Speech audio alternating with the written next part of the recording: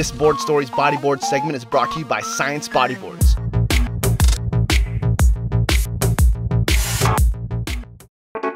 Bringing stop number two of the Hawaii Bodyboarding Pro Tour to Sandy Beach, the state's top bodyboarders were eager to duke it out at one of bodyboarding's most iconic venues.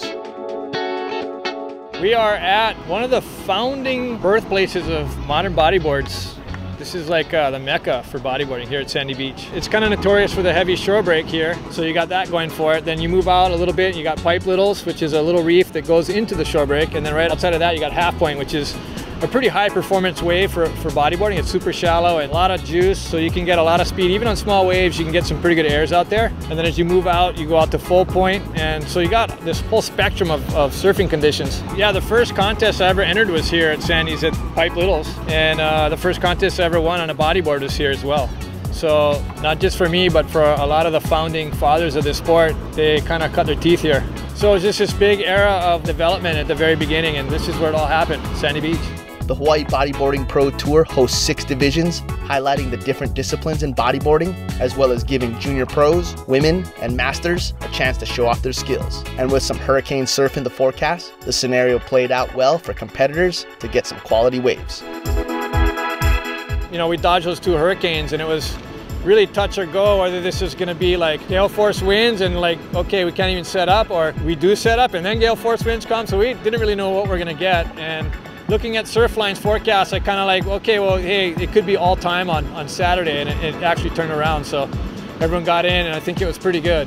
The first day of competition showcased the juniors, masters, stand up, and drop knee fields. In the junior division, perennial standouts Tanner McDaniel and Kavika Kamai showed their prowess through the early rounds to make the final, along with fellow junior competitor Corden Stapp. But in the end, it was first time finalist Kellen Yamasaki who was beyond stoked to take out his first tour victory. Yesterday I made my first final and then come here today and get first, like,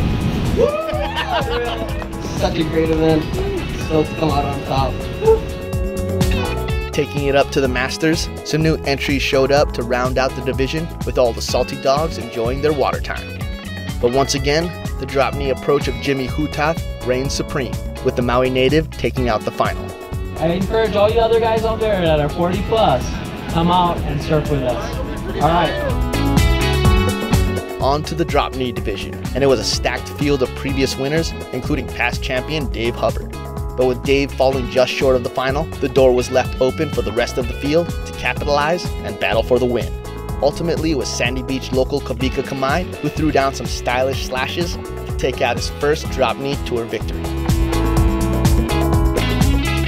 unique stand-up division brought a surf style to the event, with competitors ditching the fins and laying down some carves. The final showcased a mix of styles and some impressive riding by Kauai's Dave Hubbard.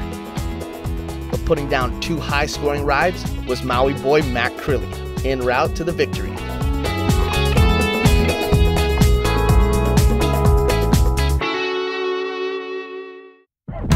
Day two saw the women and men pros take to the water the continued hurricane swell.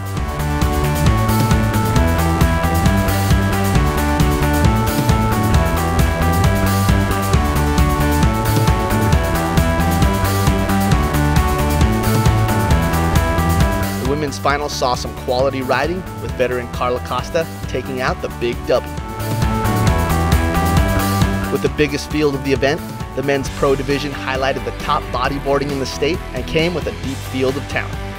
There's a, a, number of good riders throughout the contest that were surfing really good. Jeff and Dave are always really hard and kind of targets for guys to beat because they're on the world tour as well. And in fact, Jeff is leading the world tour, so he's kind of the guy to beat right now, and everyone's kind of shooting for him. But during the day, it wasn't like he had a walkthrough. So there's guys that really st stood out. You know, guys who made it to the finals. Keahi Parker, Tanner McDaniel had a stellar semi, and Kavika Kamai was ripping. Those guys were standouts to me. Gosh, there's so many guys that were tearing. Even uh, Trevor Cam got a couple huge flips and got really high scores, and guys were just like letting it go, and it was pretty cool to see. In the final, the battle for first came between the brother duo of Jeff and Dave Hubbard. While Dave found some great rides, he couldn't quite match his older bro. He's a smart competitor to, to begin with, and you know he's technically very capable. So you put those two together and he's hard to beat. Really stoked. Just want to say thanks to all the staff here at Kellogg's and all the sponsors and all the people, the judges, and all everyone that worked so hard to make these events possible. This is awesome. This is great for everybody. So thank you guys, Mahalo.